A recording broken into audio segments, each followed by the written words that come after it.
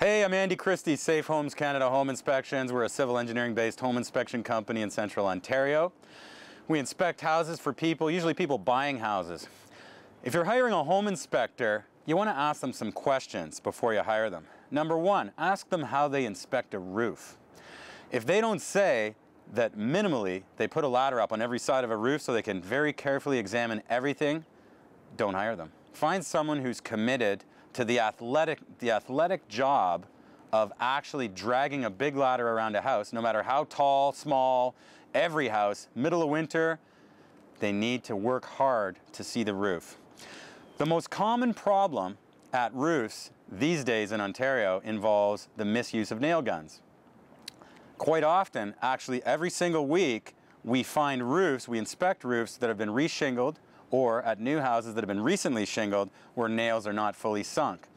This garage includes a number of locations where the nails are not fully sunk.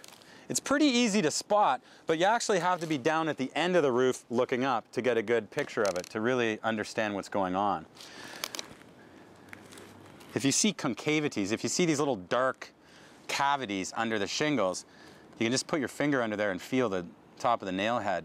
Uh, lots of people pay roofers a lot of money, thousands of dollars.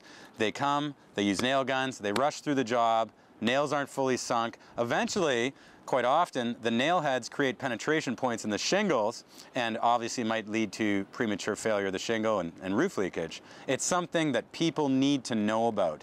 And if, again, if you're hiring an inspector, you want an inspector who's gonna get up on every side of the house and carefully look at the shingles from below.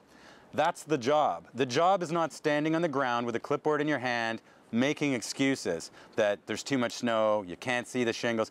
Even in the middle of winter, you can always see something. And frankly, if I'm paying a home inspector money, hundreds of dollars, I want them to at least make an effort to get up on the side of the house, get your ladder out, hustle a bit, show some dedication to the process.